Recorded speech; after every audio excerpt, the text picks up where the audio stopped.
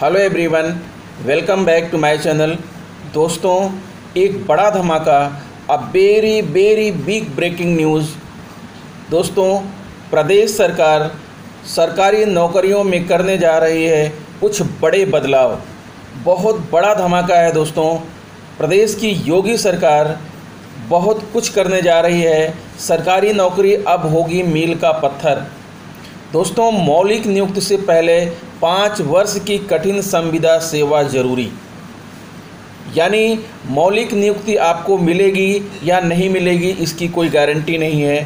प्रत्येक वर्ष आपकी होगी परीक्षा, और अगर परीक्षा में 60 परसेंट से कम मार्क्स आए तो आपको कर दिया गया नौकरी से बाहर। यानी कन्फर्मेशन के पहले, मौलिक नियुक्ति के पहले पाँच वर्ष की जो है, एक तपस्या करनी होगी समूह खा और गा की नौकरियों की, तलाश वाले ऐसे अभ्यर्थियों को। दोस्तों, बहुत बड़ा धमाका है। आइए देखते हैं और पढ़ते हैं कि खबर को विस्तार से कि क्या न्यूज़ है। समूह खा व गा की भर्ती प्रक्रिया में बड़े बदलाव की तैयारी में प्रदेश सरकार।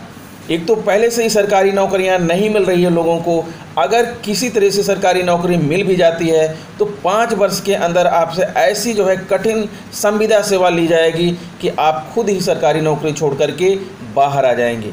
तो दोस्तों, आइए देखते हैं खबर को विस्तार से। हाँ तो दोस्तों, जैसा कि आप देख पा रहे हैं, इस खबर को सभी समाचार पत्रों ने प्रमुखता से छापा है। समूह खा व गा की भर्ती प्रक्रिया में बड़े बदलाव की तैयारी में प्रदेश सरकार। अब पाँच वर्ष की संविदा सेवा से शुरू हो सकती है सरकारी नौकरी। हर छः माह पर मूल्यांकन। हर वर्ष में 60 प्रतिशत से कम अंक तो नौकरी से बाहर। पाँच वर्ष की कठिन संविदा प्रक्रिया में छटनी से बचे तभी पक्की नौकरी की सौगात। इसके पक्ष में क्या तर्क है मित्रों? कर्मियों की दक्षता बढ़ेगी, देशभक्ति के भाव का होगा विकास। वाह, क्या बात है। नई व्यवस्था के पक्ष में यह तर्क दिया जा रहा है कि इससे राज्य कर्मचारियों की दक्षता बढ़ाने, नैतिकता, देशभक्ति एवं कर्तव्य परायणता के मूल्यों का विकास करने में मदद मिलेगी। वित्तीय व्यवहार कम होगा। सरकार, समूह खा व समूह गा की भर्ती प्रक्रिया में बड़ा बदलाव करने पर विचार कर रही है। प्रस्तावित व्यवस्था में चयन के बाद कर्मचारियों को शुरुआती पाँच वर्ष तक संविदा के आधार पर नियुक्त करने की योजना है। इस दौरान उन्हें नियमित सरकारी सेवकों को मिलने वाले अनुमन्य सेवा संबंधी लाभ नहीं मिलेंगे। पाँच वर्ष की कठिन संविदा सेवा के दौरान जो छटनी से बच पाएँगे, उन्हें ही मौलिक नियुक्ति मिल सकेगी। शासन का कार्मिक विभाग इस प्रस्ताव को कैबिनेट के समक्ष विचार के लिए लाने की तैयारी कर रहा है। इस प्रस्ताव पर विभागों से राय मशविरा शुरू कर दिया गया है। वर्तमान में सरकार अलग अलग भर्ती प्रक्रिया से चयन के बाद संबंधित संवर्ग की सेवा नियमावली नियमावली के अनुसार एक या दो वर्ष के प्रोवेशन पर नियुक्ति देती है। इस दौरान कर्मियों को नियमित कर्मी की तरह वेतन व अन्य लाभ दिए जाते हैं। वे वरिष्ठ अफसरों की निगरानी में कार्य करते हैं। नियमित होने पर वह नियमानुसार अपनी ज़िम्मेदारी का निर्वहन करते हैं। पर प्रस्तावित पाँच वर्ष की मौजूदा संविदा भर्ती संविदा भर्ती और इसके बाद मौलिक नियुक्त की कार्यवाही से समूह खा व गा की पूरी भर्ती प्रक्रिया ही बदल जाएगी। नई व्यवस्था में तय फार्मूले पर इनका छमाही मूल्यांकन होगा। इसमें प्रतिवर्ष 60 प्रतिशत से कम अंक पाने वाले सेवा से बाहर होते रहेंगे। जो तय शर्तों के साथ पाँच वर्ष की सेवा पूरी कर सकेंगे, उन्हें मौलिक नियुक्ति दी जाएगी। इससे सरकारी विभाग, समूह खा एवं गा के पदों पर नियुक्ति, संविदा पर एवं विनियमितीकरण नियमावली 2020 कहा जाएगा। क्या बात है? पीसीएस पीपीएस व पीसीएस जे ही बाहर।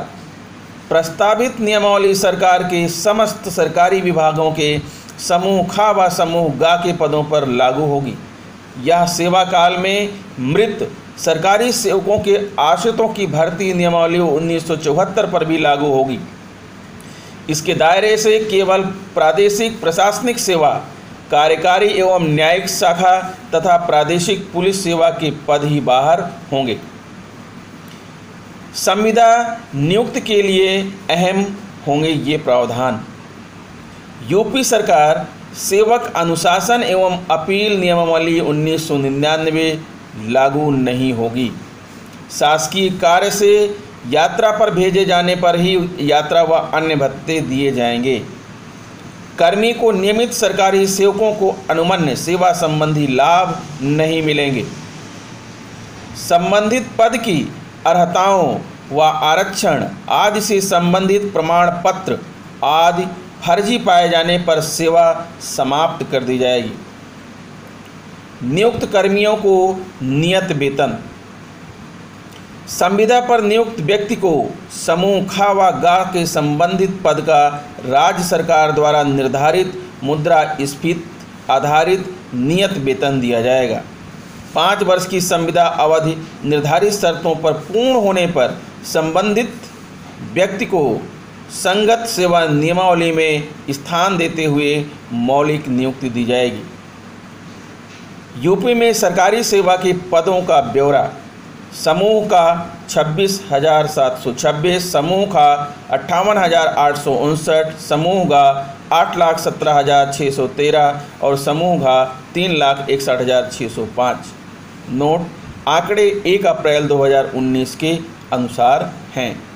तो ये रहा दोस्तों, आज का ब्रिक ब्रेकिंग न्यूज़ यानी आने वाली पीढ़ियाँ तरस जाएँगी सरकारी नौकरियों को। यदि आपके बच्चे सरकारी नौकरी का जो है सपना देख रहे हैं तो उन्हें इस सपने से बाहर लाइए, इस डायलेमा से बाहर लाइए, इस कल्पना से बाहर लाइए और उन्हें कुछ और क्षेत्रों में लगाने की कोशिश करिए, क्योंकि सरकारी नौकरी बनने जा रही है मील का पत्थर। किसी तरह अगर नौकरी में आ भी गए तो गारंटी नहीं है कि आपको जो है मौलिक नियुक्ति मिल ही जाए, यानी कब आप बाहर निकाल दिए जाएँ। ये तो प्राइवेट से भी जो है बदतर नियमावली होने जा रही है। तो दोस्तों, सावधान हो जाइए। अपने बच्चों को, अपनी पीढ़ियों को जो है मोटिवेट कीजिए कि वो सरकारी नौकरियों की तरफ़ से मोह भंग कर लें और नई दिशा की तरफ़ अपने आप को मोड़ें। तो दोस्तों, आशा करता हूँ कि मेरा यह वीडियो आपको पसंद आया होगा। इस वीडियो में इतना ही। मिलते हैं आपसे नई वीडियो में नई खबरों के साथ, नई चीज़ें लेकर। तब तक के लिए, गुड बाय।